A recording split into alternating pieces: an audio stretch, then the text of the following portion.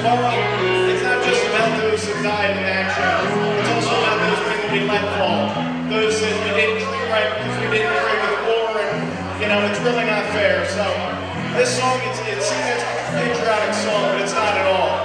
So I want you to listen to the lyrics while you're flipping burgers to remember tomorrow.